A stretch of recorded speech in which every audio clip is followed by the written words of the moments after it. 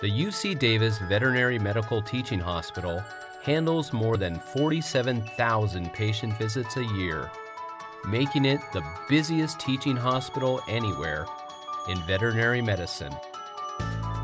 UC Davis board certified faculty veterinarians are innovators of some of the most cutting edge procedures. We're one of the few institutions that have very high level research. From life saving cancer treatments to sight restoring eye surgeries. The dedication and breadth of talent of our team help provide top notch patient care and client service, treating everything from cats and dogs to horses, cows, and even exotic species. The largest and actually the most extensive diverse caseload of any teaching hospital in the country, and I would suspect the world.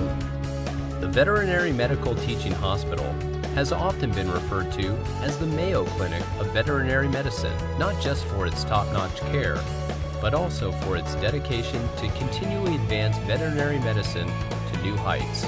To me, that's the most exciting thing I do. It's my reason for existence. UC Davis Veterinary Medical Teaching Hospital, the gold standard for veterinary hospitals worldwide.